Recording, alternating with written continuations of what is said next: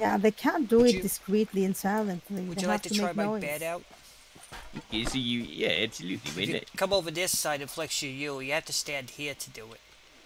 I think you'll enjoy. Oh, look at that. See, it's pretty comfortable, don't you agree? Oh, I don't, I don't think I've ever laid in a bed so comfortable before. Exactly. Helen. Why is Dallas in the bed? He's trying it Yeah, out. Uh, he, yeah, he told me that to see how comfy it was. Jesus It's- Christ! You changed the it- shit out of us. I mean, you can take your clothes off and try that if you want. I'm just gonna. Melvin, Melvin uh, I'm must uh, sleep on this side. It smells like him. I'm, yeah. Yeah. You're both disgusting. I'm gonna go take a nap. have a lovely nap, Violet. What? That's it? Now I'm down to zero people.